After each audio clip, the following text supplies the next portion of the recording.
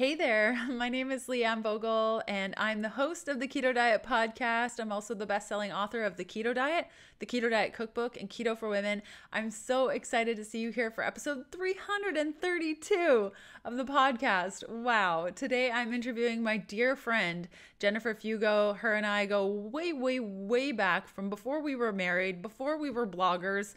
Um, so much has changed in her business, and what I love about today's conversation is she is dropping the knowledge bombs for us. If you deal with any sort of skin issue, we're talking about it. We're talking about the root causes, why coconut oil isn't the best thing to put on your skin, and so, so much more. If you have questions about today's content, go ahead and post them down below in the comments here on YouTube or you can contact me with the links down below. If you want to reach our guest Jennifer for any reason to work with her or check out her website, I will include all those links down below in the show notes, right down there.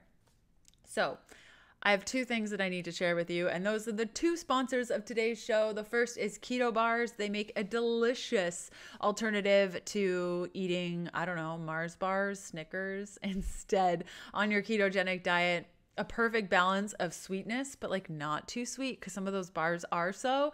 And then, last but certainly not least, our friends over at Find My Formula. They make nootropics that are customized to you. If you're having issues with brain function and you just can't get things going, click down below. You'll be thankful you did. Okay, let's get to today's interview. Hello, Jennifer. How are you? I am well. Thank you so much for having me. I feel like this has been a long time in the making, and I'm so excited to be here. My goodness. I think you're one of my oldest pals on the internet. Like, we started talking before blogging was even popular. Yes. Back when Healthful Pursuit was, oh my goodness. Vegan. Some, yes. You vegan. were doing gluten free school. Like, look at us now. Lots changed. We've grown up. yeah, totally. Got married. Like, come on.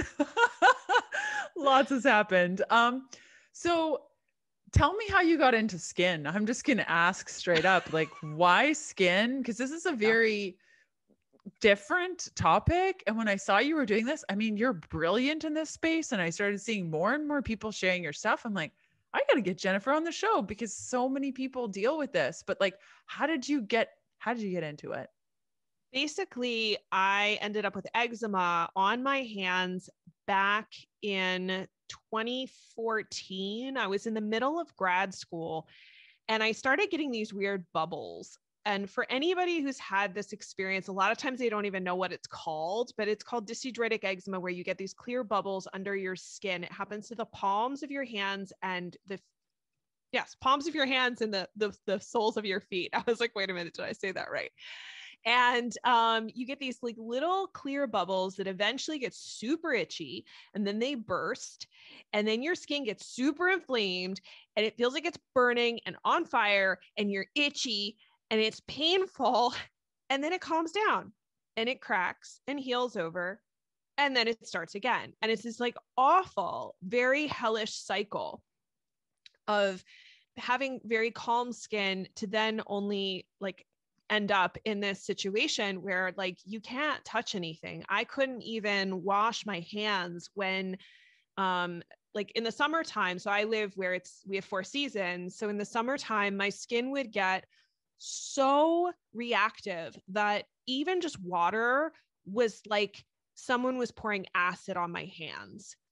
Um, and in the wintertime, my skin would dry out so much that obviously, you know, we use our hands for a lot of different things. And every time I would bend, I would get all these paper cuts. So it was incredibly painful and torturous to the point where like I was afraid to touch anything. I couldn't wash my hand or wash my hair because gloves don't keep water out. I couldn't go to the gym anymore because I couldn't wash my hands.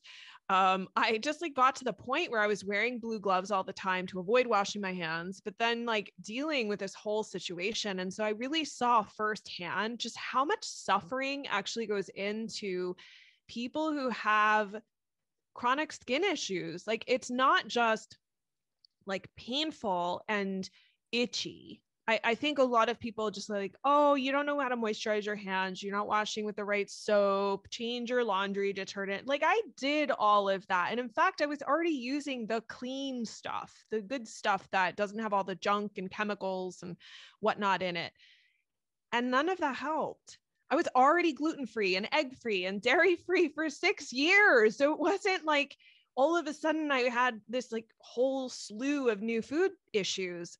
It was something going on under the surface. And so, honestly, at the time, I didn't know what I was doing. I put something, cobbled something together over time when I finally gave up, and I was able to get my skin to stop um, with this with this awful cycle and it took a lot of time it took like a year to get my skin to stop and when i sort of walked out of that and i was so happy for myself i was still in facebook groups and i realized i want to help share what i've learned my experience with these people who are still suffering like children. When i see children like the pictures of babies covered in rashes crying like i can imagine the parents are so upset because they don't know how to help their their their kids. Um and I, i'm grateful for my colleague uh, her name's also jennifer jennifer brand. She actually works with kids. I don't. I only work with adults but like to help adults too who are really suffering and struggling. And so i just didn't want to leave people behind. I felt like it was I don't I don't want to say that my suffering served as a purpose because I think sometimes people I, I, know when I was in the middle of it, I didn't want to hear that there was some like greater meaning to all of that. But to be honest with you, I turned my own suffering into something that I could really help others with. And um, I feel really blessed that oddly, I feel blessed that I had that experience because now I actually know what it feels like. Wow, I couldn't even imagine the struggle that that would have been like to have to wear gloves and worry about washing your hands. I mean, these are basic things that we do without thinking. What other kind of skin issues are there? You talked about babies covered in rashes, this eczema thing. Or I'm Canadian, so we say eczema. yes, eczema, eczema, eczema, uh, yeah, eczema, eczema thing. Like, what other issues of the skin can there be? Is that like too large of a question to ask. no, no. So in my practice, I mostly focus on eczema or eczema, uh, psoriasis, rosacea, dandruff. Um, I do work with some cases of tinea versicolor, which is like a fungal skin infection that is more predominant in areas where it's like super humid or tropical. Um, and I've also worked on some cases of lichen sclerosus. And there's some other oddballs in there, I'm sure, but those are like the main focuses of what I do. So it's like the most common chronic skin issues. There's a little bit of acne, but most of the time that's never the primary concern because acne is like a completely different beast because there's so many different hormonal components and whatnot to it. So for me, it's really looking at these chronic rashes that can be triggered by a number of different reasons that may or may not necessarily be acknowledged at this point in time by conventional dermatology. And I'm not saying this to say I know better than doctors or that doctors don't have a role here. I want to be very clear. My dad was an, a medical doctor and a surgeon, so I have great respect for doctors, but I do think that they're that they're always like five to 10 years behind. And I, I hate to say this, but like that's five to 10 years of somebody's life they're never getting back. That's five to 10 years of missing like your kids grow up because you can't go out. Like I work with some people who are so sick, they can't work. They can't pick up their kids. That, you know, I work with some folks who have staph infections head to toe and can't hug their spouse. They can't hug their children because it's contagious. So you lose out on quality of life. And I just, I want to help provide people with other avenues to start looking in other directions when they've exhausted the change your skincare, take a topical steroid, you know, maybe cut out eggs, um, or they're just fed up or not interested in doing an elimination diet because I don't think well, you can ask me my feelings on elimination diet if you are so so interested but um, I just want to give people di- different options and other options that they probably haven't heard of before. Yeah, and that was going to be my next question because you mentioned a little bit like I cleaned up the, you know, I was doing all the natural stuff. I wasn't doing the soaps. I wasn't having eggs. I wasn't having gluten. Those are kind of the basic. I mean, even if you go to a dermatologist, I would imagine that they're just topicals and things like that. Take this pill, see if it gets better. If you go to a nutritionist, they'll probably say, do an elimination diet, you know, um, remove eggs, remove grains, uh, check your soaps. What's at the what's the hidden root of of these things? Because I feel like maybe that will help, maybe it won't. But what's at the root of yeah of these issues? Yeah, that's a good question. So, um, I will say this it is sometimes food, but most of the time when it's a food driven issue, it's a food allergy, like an actual true food allergy. Now, it's not to say that we can't be reactive to food. There are some people who actually have found their skin gets better on, for example, a carnivore diet. There's other people who found their skin gets better on a vegan diet. And you could go, well, like, why would that make any sense? They're two very polar opposite diets. They're both elimination diets as well. And my question is always okay, fine, your skin may have improved because you changed your diet, but why? And that's really the bigger question. So if we don't have true food allergies, then why is it possible that maybe, maybe a diet change might work? And the reason is that there are other hidden root causes that drive this inflammatory process. Like how do I know that this is an inflammatory process? Aside from it's like kind of like most modern disease is and chronic disease is driven by inflammation but we know that because the biologic drugs that are huge blockbusters like Dupixent for eczema, Humira and Enbrel for psoriasis for example they all they do is block inflammation pathways that's how they get your your rashes to go away is to block an inflammatory pathway. So then you have to say well like what's actually driving that? In the first place like could i not necessarily shut the pathway off? Because to me i'm sort of like that's like shutting off your check engine light. But what's actually causing that pathway to be on overdrive? And so i've talked about this on the healthy skin show where it's like there are 16 root causes to at least that's what i found so far to cause people's skin to go nuts. You also don't have to have any gut symptoms to have some of these, including gut problems that are pretty um, common with skin issues. So I'll just run through them really quick. If you want to dive deeper into any of them, I'm happy to. But basically, there's microbiome dysbiosis that can be on the skin as well as in the gut. You can have gut dysfunction. There can be diet and food reactions. And again, that would include food, actual food allergies liver detox challenges. So that does not mean, by the way, that you should do a liver detox or a liver cleanse, um, but that there are actual challenges that pro- prohibit or prevent your liver from actually functioning in a biochemical um, manner that it's supposed to. Uh, nutritional deficiencies, trauma, unmanaged stress, there can be genetic implications as well, things like filaggrin, for example. Um, thyroid dysfunction is a big problem. There's also other hormonal imbalances like estrogen dominance to consider, autoimmunity, drug reactions, mitochondrial dysfunction, heavy metal exposure, environmental toxins, and then environmental allergies. Because for some of my folks who have a lot of allergies, I work with people who are like allergic to every tree, every weed, and whatnot. Um, that can also be a factor as well. Okay, we need to talk about the liver piece because I know that somebody heard that and they're like, I'm just gonna grab some milk thistle and see what happens. Um, thoughts on the liver and really its role because the liver seems to be quite popular nowadays. Mm-hmm. Um, mm-hmm. so what are your thoughts on that?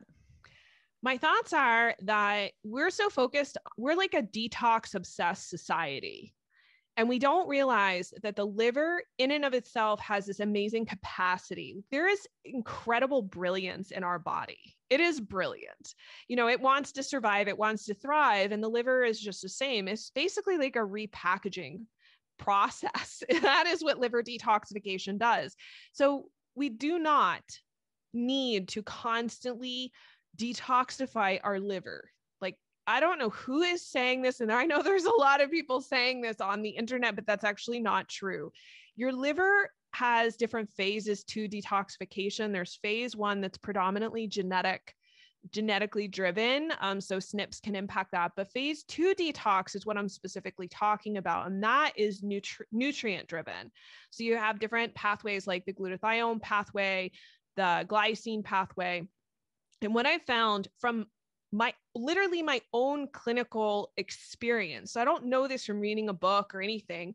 It wasn't something that was taught to me it was through seeing patterns over and over and over again that when people had skin issues and they had they also unfortunately tend to have some sort of dysbiosis under the surface the toxins produced by what's living in the GI tract end up in your liver. It has to get converted to a substance called, so from benzoates to hippurates, and that requires glycine to make that conversion we don't make glycine. You have to have a constant supply and not what your body just needs for any given day. It means you need an additional amount. And so when I say liver detox challenges, I'm specifically talking most of the time about nutrient depletions that cause the liver to slow down and it can no longer keep up with what it needs to do in order to keep you healthy. So you end up with this like backlog of toxins and waste products that your liver just cannot deal with.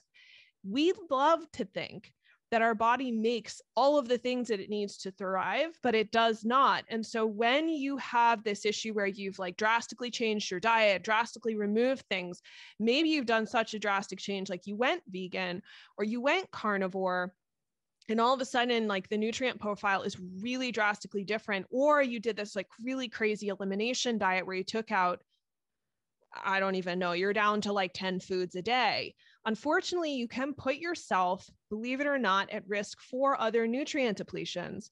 Um, and so that's where it's really crucial to double check that what you are consuming is actually getting in and that there aren't other areas that might actually need to be supplemented or supported. So that's why when I say liver detox, it's not about doing a detox, not about buying milk thistle. And by the way, friends, if you have a ragweed allergy, you should not buy milk thistle because that is in the ragweed family and that will make things worse.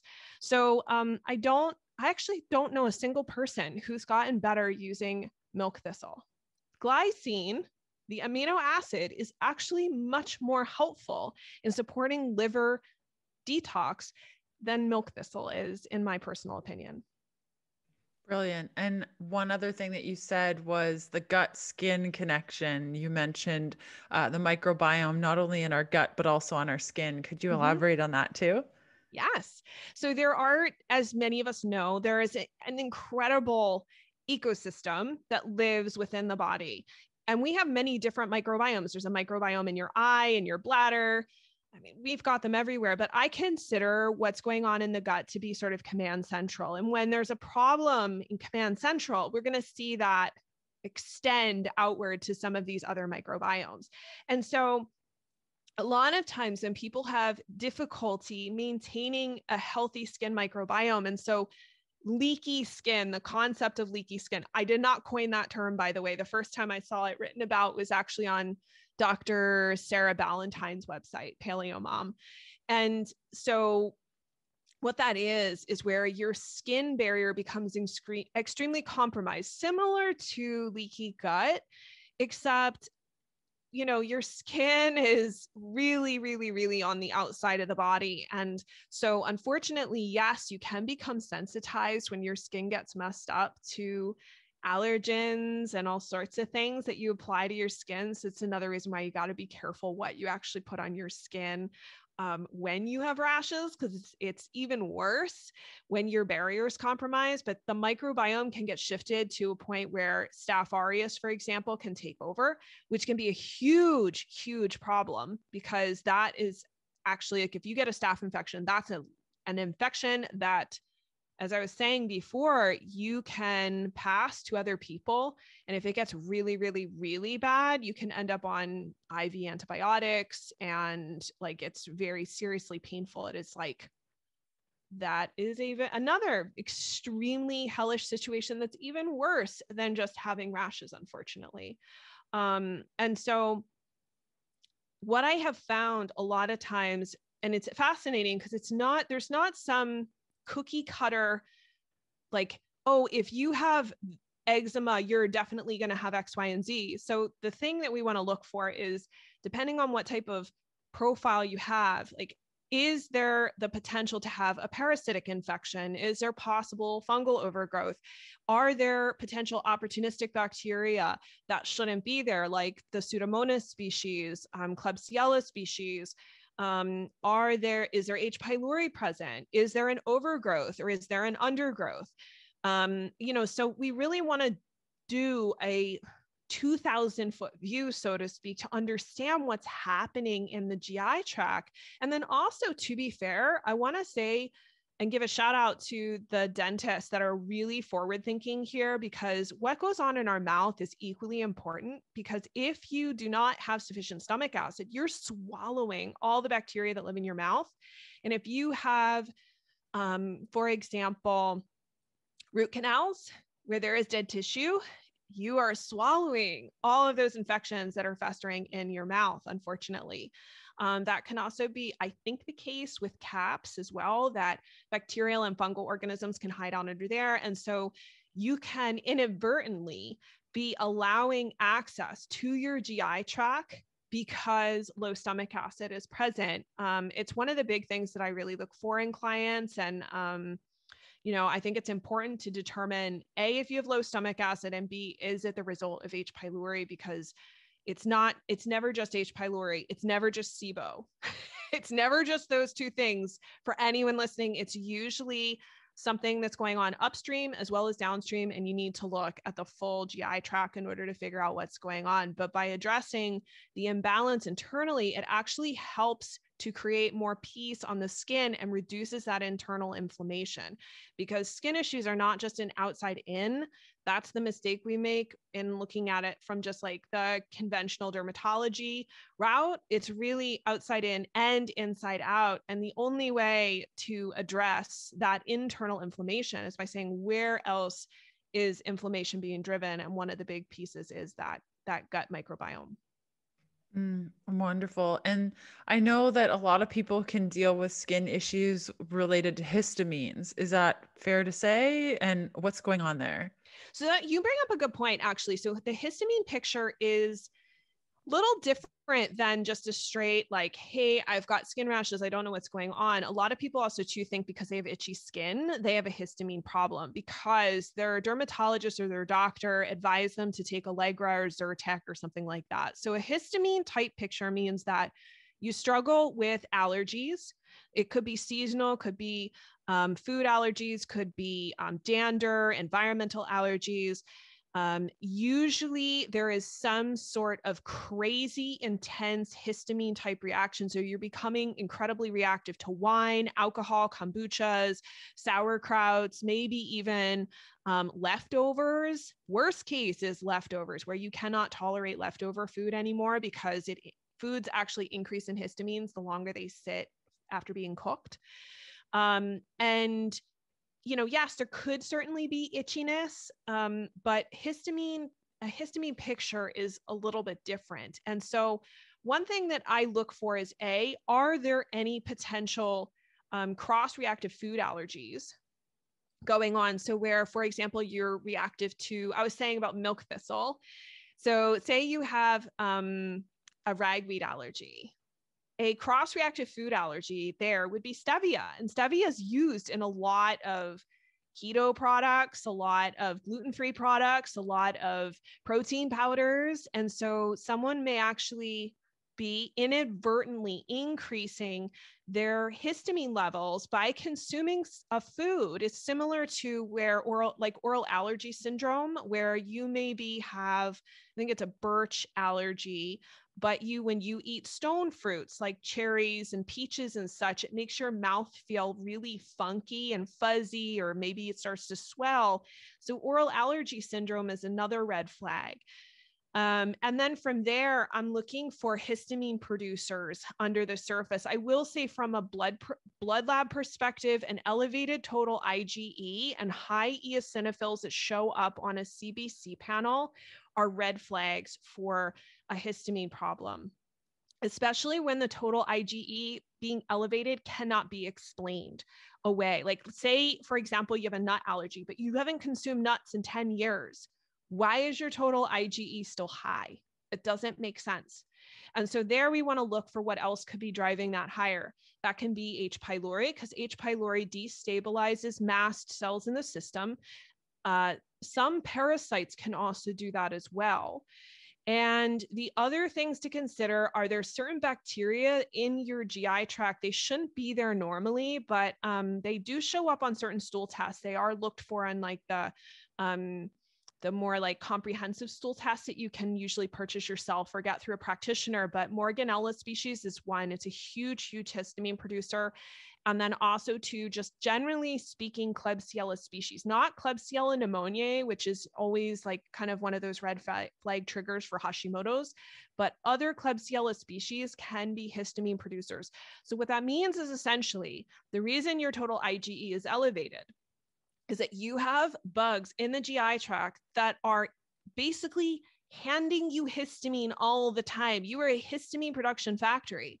And so your cup to be able to tolerate histamine on a daily basis is getting really full. So it doesn't take much to tip it over. It could just be that vinegar on your salad. It could just be that kombucha you're drinking every day at lunch. It could be the leftovers because you no longer like if when you can no longer tolerate leftovers, that is severe. That is pretty, pretty severe.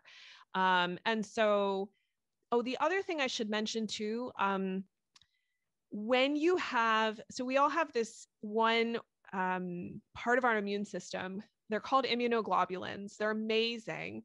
And so in our GI tract, actually throughout our mucosal membranes, there's a secretory IgA, which is there. It's like your police force, it's your first line of defense, and it's there to really help um, catch things in the act before they cause a systemic problem. And when that level gets depressed, which is not uncommon to see in chronic skin issues, it actually will prioritize, that will cause IgE, our allergic histamine type response, to become prioritized. And so that's where we want to work to support immunoglobulins. It's one reason why I love to use immunoglobulins in my practice with histamine cases, but also too, this can explain why you feel like you're becoming increasingly reactive to things and your histamine issues are getting worse is because your body is trying to protect you, but the way it's doing it actually is making things worse. So again, the gut is a huge piece. It's complicated, um, but it is absolutely connected. It's it's a huge piece of the puzzle. I love how many pieces you touched on because I'm I'm currently going through a suppressed IgA experience. We can't figure out why my IgA is so low and nothing is helping and it's not showing up in my skin, but I think a lot of people wait too long, mm-hmm. you know, before they start kind of investigating like what's going on here i'm starting to have these symptoms like usually we wait until it's so far gone and that's probably one an issue with a traditional medicine that we wait until like there's a huge fire until we deal with it um, but if somebody's listening who's like mm, you know, you mentioned some things that are a little bit concerning.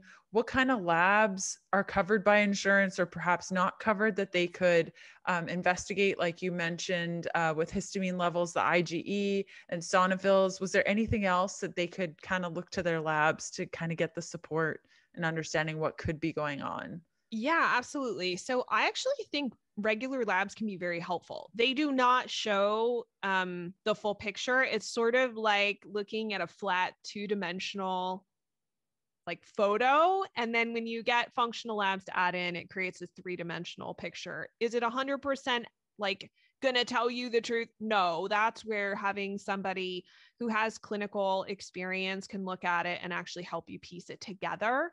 But um, I would say, from a conventional standpoint, there is a CBC panel, so that includes the eosinophils. The total IgE is something different, um, and so that's what you would have to ask your doctor or allergist to do. I love to see fasted comprehensive metabolic panels looking at both kidney and liver function.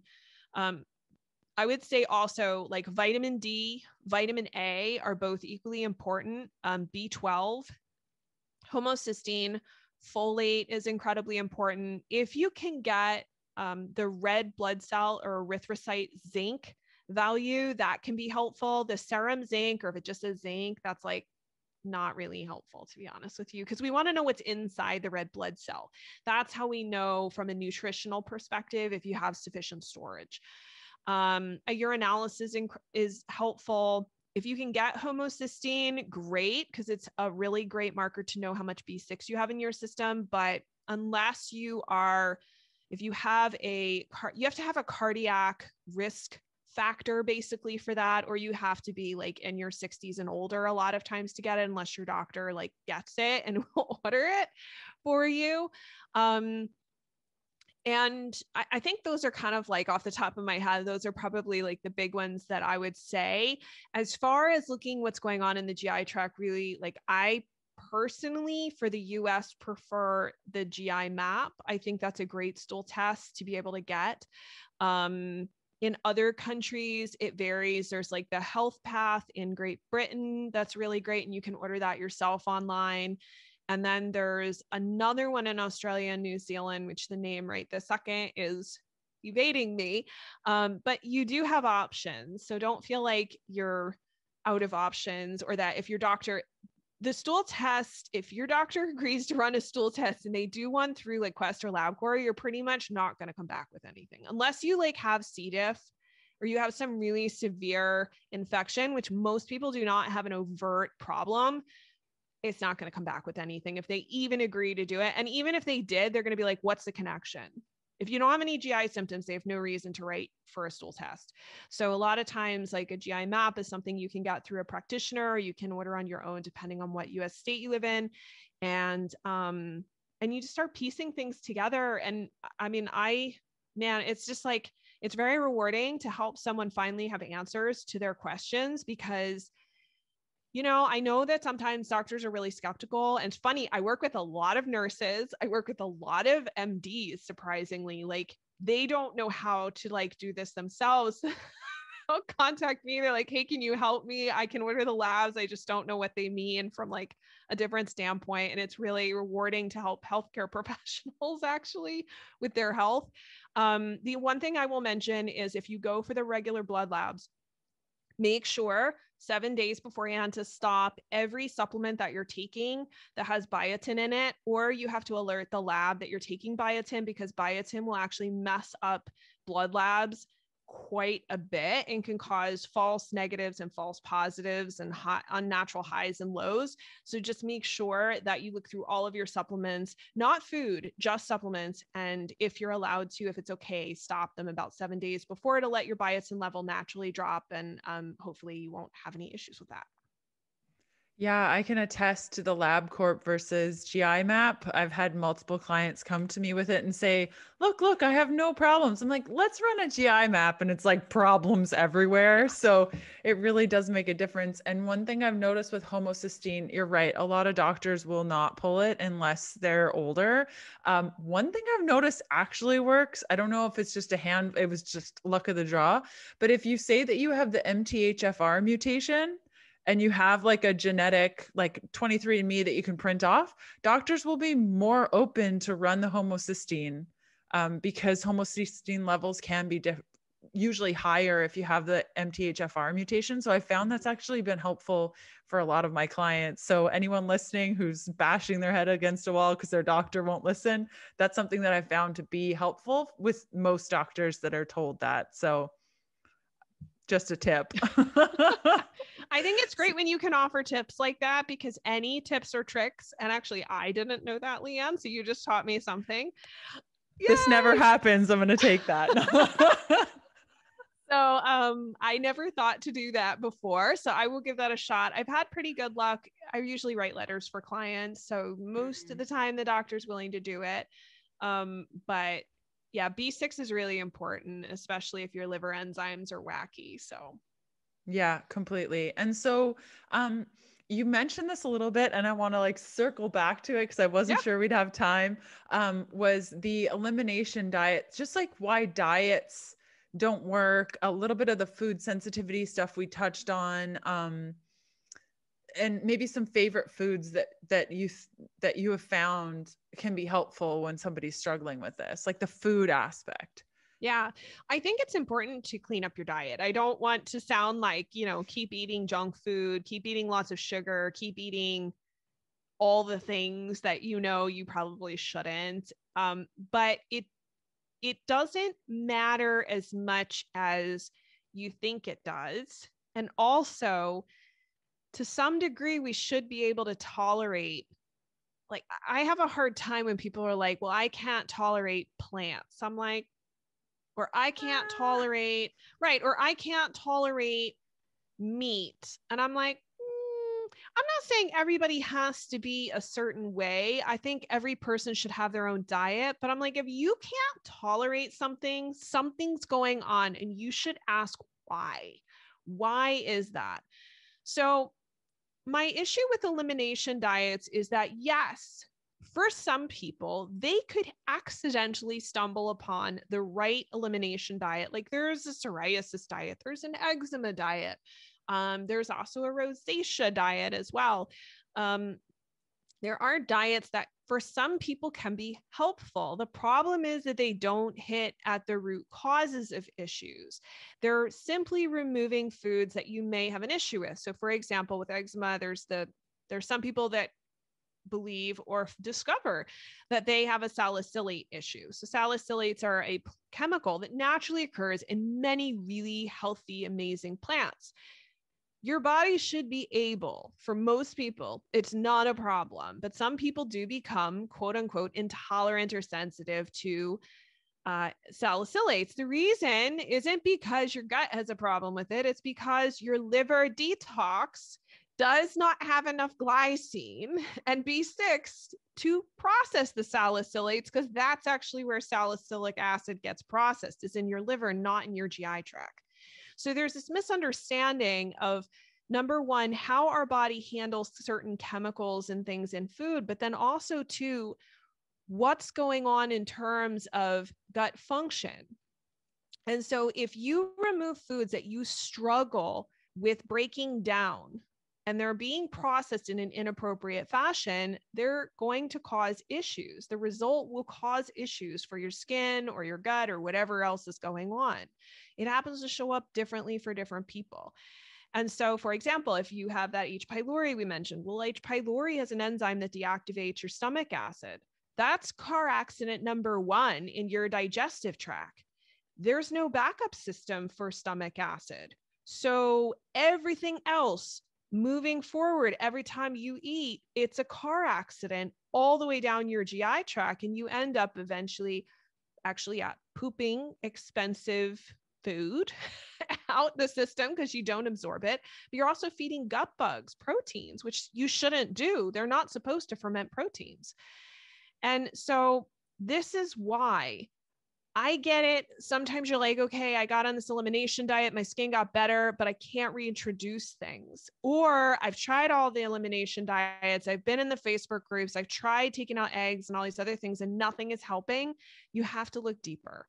If you can't eventually get off an elimination diet, something else is going on. And also, like I was saying, we don't make all the nutrients we need to thrive, right? We have to have them constantly coming in. But if you can't break them down, if you struggle with absorbing them, where do you think they come from? I mean, I'm asking a legitimate question for people. Like, we take for granted the way our body operates. So much of it is this tremendously magical to some degree symphony that we don't still to this day fully understand. I would love to think that we completely understand how our body works. We don't. That's why we are constantly seeing new research studies and all sorts of things.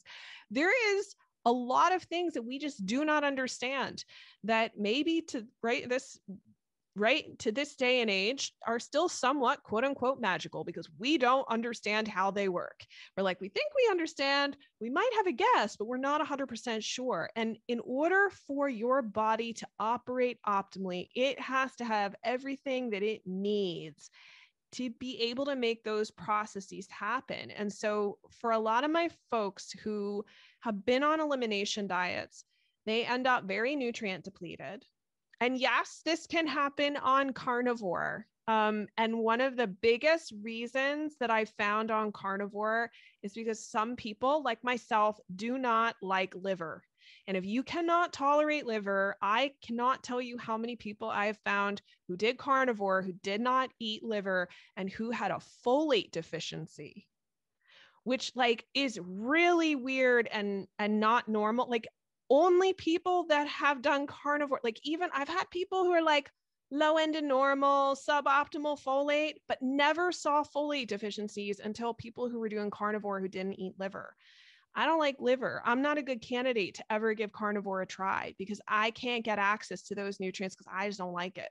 So you have to recognize that if you can't comply by the guidelines of certain diets and you're not also checking the levels of critical nutrients, you can become really nutrient deficient and it can cause serious problems systemically. So um, the same goes if you're down to five foods, 10 foods a day. That's not healthy. Our gut thrives, our body thrives on diversity. And you can actually cause yourself to become increasingly sensitive to foods the more you remove them.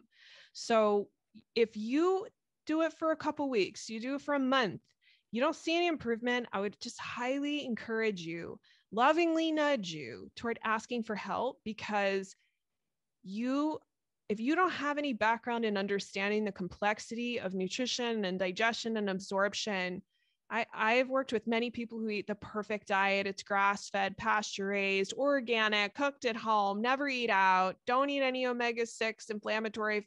It doesn't matter.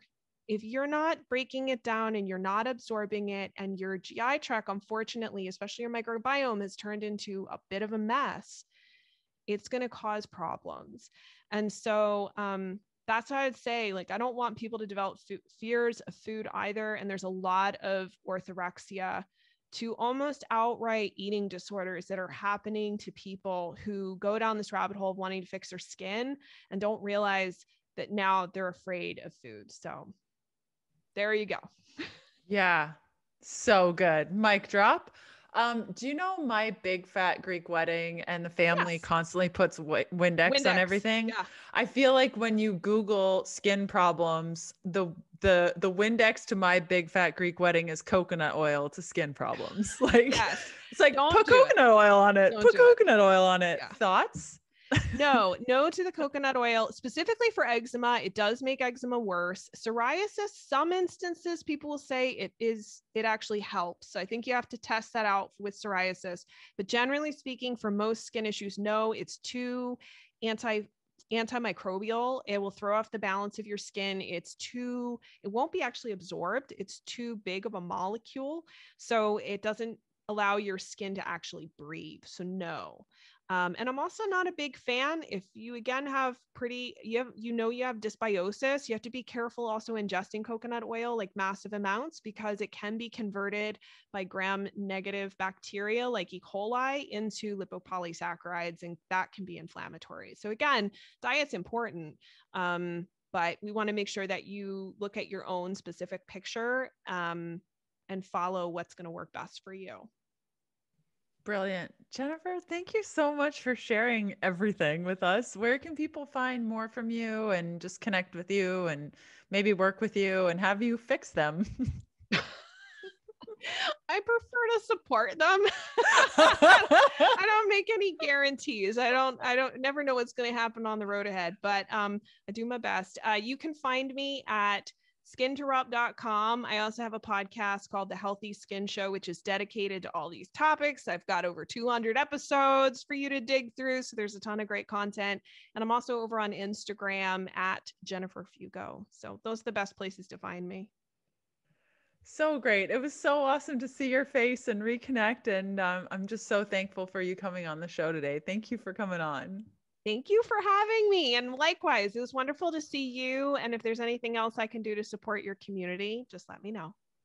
Isn't Jennifer the best? Oh my goodness. It's been so long since I've gotten to see her, and it's just been so nice uh, to see what she's doing in her clinical practice. And I'm just so incredibly excited for those of you who are struggling with skin issues that you have uh, a potential resource there for you. So I hope you really enjoyed today's show. Again, I will include all of Jennifer's information down there in the show notes. Just check it out. Uh, and if you have any questions, feel free to post them in the comments below. Okay, we will see you next Sunday for another episode of the Keto Diet Podcast. I hope you have a great rest of your week. Okay, bye.